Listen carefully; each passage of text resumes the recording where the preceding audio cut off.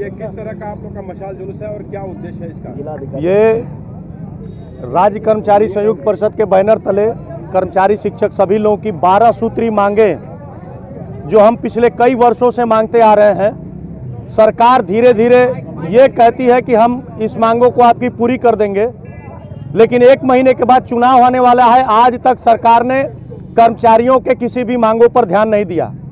मुख्य रूप से पेंशन का मुद्दा है मुख्यमंत्री महोदय पेंशन लेते हैं, प्रधानमंत्री महोदय पेंशन लेते हैं, विधायक महोदय पेंशन लेते हैं, जो रिटायर्ड हो जाते हैं, जो हार जाते हैं, वो भी पेंशन लेते हैं।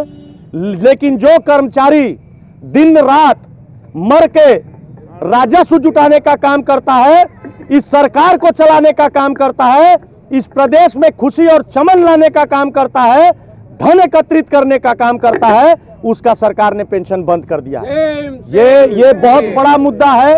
लगातार कई राज्यों में पेंशन की व्यवस्था आज भी लागू है लेकिन उत्तर प्रदेश में वादा करने के बावजूद संसद में वादा करने के बावजूद हमारे वर्तमान के मुख्यमंत्री महोदय कर्मचारियों की किसी बातों पर ध्यान नहीं दे रहे हैं। इसका बहुत बड़ा रोष कर्मचारियों में है जिसको लेकर के हम दुर्दे दुर्गेश श्रीवास्तव के नेतृत्व में आज यहाँ धरना प्रदर्शन के लिए बाध्य हुए हैं। आप मांग भी बता दीजिए। दुर्गा जी आपके नेतृत्व में मशाल जुलूस लगातार पेंशन को लेकर आंदोलन किया जा रहा है। नतीजा क्या? नतीजा स्पष्ट है कि उत्तर प्रदेश सरकार और केंद्र सरकार हटवादिता पे कायम है और श्रमिकों की मांगों को दबाने का कार्य किया जा रहा है जिसे राज्य कर्मचारी और शिक्षक और श्रमिक कोई भी विषय बर्दाश्त नहीं करेगा और निर्णायक स्तर तक इस लड़ाई को हम लड़ेंगे।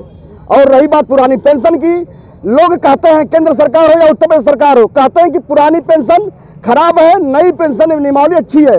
अगर योगी जी, मोदी जी से हम पूछना चाहेंगे कि अगर नई पेंशन प्रणाली इतनी अच्छी है तो उसको आप अपने ऊपर क्यों नहीं लागू करते हैं? लेकिन दोहरी नीति, हम किसी पार्टी पे नहीं जाएँगे, लेकिन हर राजनेता श्रमिक विरोधी अब तक कार्यकर्ता आया है, जिसका राज्य कर्मचारी संयुक्त परिषद, जिसका कर्मचारी शिक्षक संयुक्त मोर्चा पुरजोर विरोध करेगा और आने वाला चुनाव में नोटा का प्रयोग करेगा। ये राज्य कर्मचारी संयुक्त परिषद ऐतिहासिक निर्णय ले चुका है।